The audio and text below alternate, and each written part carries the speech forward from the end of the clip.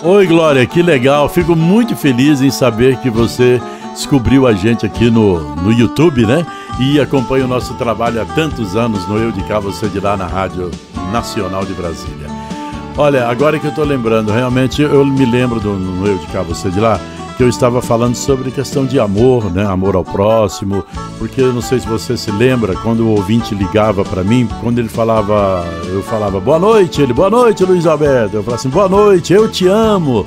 Né? Então eu falava isso com as crianças, com, com os jovens, né? com a mulher, com o homem, né? E, às vezes as pessoas estranhavam, né? Algum ouvinte falava: Alô, Luiz Alberto, boa noite, boa noite, quem tá falando? É o Tonho, ô Tonho, eu te amo. Ele falou, rapaz, eu sou homem. Eu falei assim, eu sei que você é homem.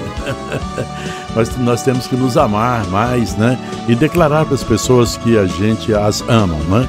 Então, e, e eu me lembro que eu, eu falei essa frase mesmo, essa estrofe dessa poesia. Então eu vou fazer o seguinte: eu vou pedir o Chimbica, que é o meu companheiro hoje na JKFM, para colocar uma trilha sonora aí, bem rapidinho, né? Eu vou recitar para você, tá bom, meu amor?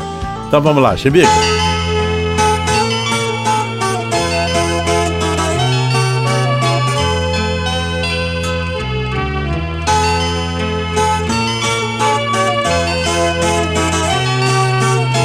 Talvez seja saudade, talvez seja a idade que torna-me romântico, talvez seja uma flor ou talvez seja uma dor que leva-me tanto a falar de amor.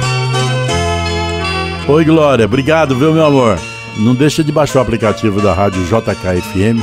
Nós estamos lá, eu e o Chimbica, juntinho, que nem caroço de piqui, todos os dias, das três às seis da manhã, de segunda a sexta, sábado e domingo, das quatro às sete da manhã. Programa Luiz Alberto. É igualzinho eu de cá, você de lá, tá bom?